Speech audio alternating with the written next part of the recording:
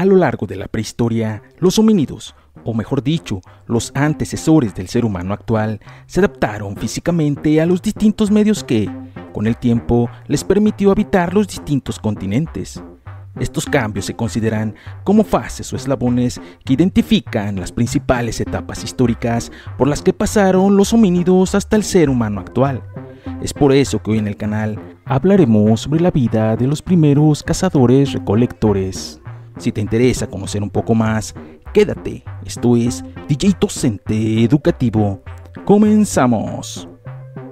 La vida de los primeros cazadores recolectores.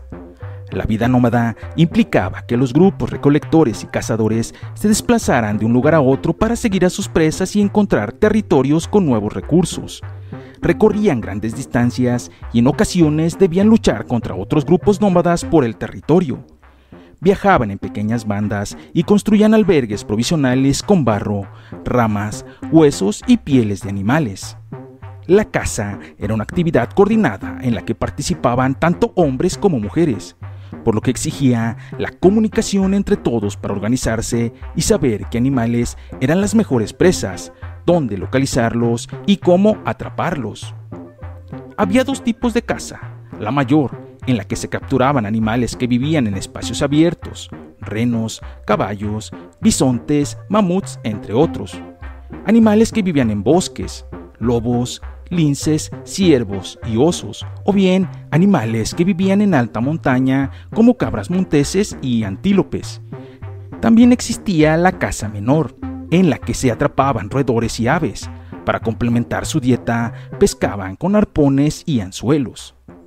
Si bien es cierto que la fauna y las plantas comestibles tendían a agotarse, por lo que debían dedicar un tiempo considerable a su búsqueda, estos primeros cazadores recolectores disponían de tiempo libre para convivir y desarrollar el lenguaje como forma de comunicación.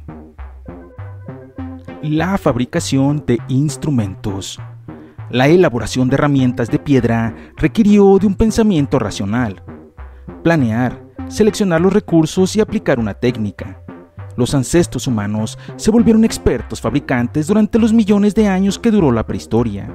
Esto fue una verdadera revolución tecnológica, pues comprendían en la práctica los principios descubiertos posteriormente por la ciencia, como la transformación de la energía al producir el fuego golpeando dos piedras o frotando un palo contra una madera, hervir el agua calentando piedras y el uso de la palanca en los lanzadores de dardos.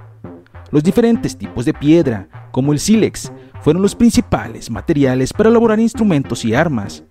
Con ellos se hicieron puntas de flecha, cuchillos, hachas, utensilios para moler, entre otros. Para su elaboración se usaron tres técnicas. La percusión, que consistía en golpear la piedra con un objeto duro para desprenderle pedazos. La presión, en la que se comprimían las orillas de una piedra entre dos pedazos de hueso para quitarle pequeños fragmentos y sacarle filo. Y el desgaste, mediante el frotamiento de dos piedras para sacarle filo y pulir una de ellas. Los utensilios fabricados con esta última técnica fueron de gran importancia para las poblaciones sedentarias, ya que les permitieron elaborar hachas para cortar árboles, así como instrumentos que empleaban en actividades agrícolas. Además de elaborar objetos de piedra, utilizaron la madera y el hueso para construir refugios. También curtían pieles y los cosían con instrumentos como las agujas. Sin ellas no hubieran sobrevivido al intenso frío que traían las glaciaciones.